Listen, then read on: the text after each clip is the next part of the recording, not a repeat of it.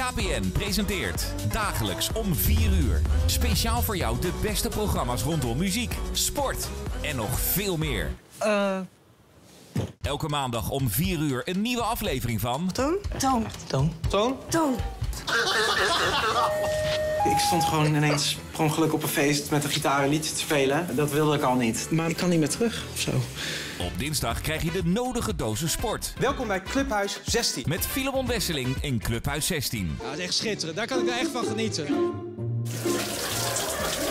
Waarom moeten de mensen nu denk je lachen? Mijn hele top 10 zijn gewoon alleen maar ballen, beuken, beuken, beuken. Elke woensdag vertellen toonaangevende artiesten hun verhaal aan de hand van hun Spotify top 10.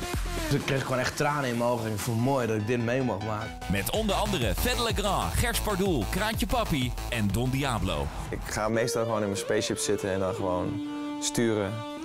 Straight to outer space. Nog meer artiesten zijn iedere donderdag op bezoek bij Mattie en Wietse en Saar en Tess in Soundcheckers. We hebben een fantastische band te gast, namelijk Raccoon. Elke week de beste optredens en spannendste missies. Regel een welkomstfeest op een AZC. Nee, ik ben niet, ik ben niet echt van het zingen. En stiekem wil ik dansen met Maxima op de Dam. Nog maar een keer? Ja. Op vrijdag krijg je het heetste nieuws uit de professionele wielersport met Incycle.nl. Een bijzonder inkijkje in de wereld van nationale en internationale renners, races en ploegen.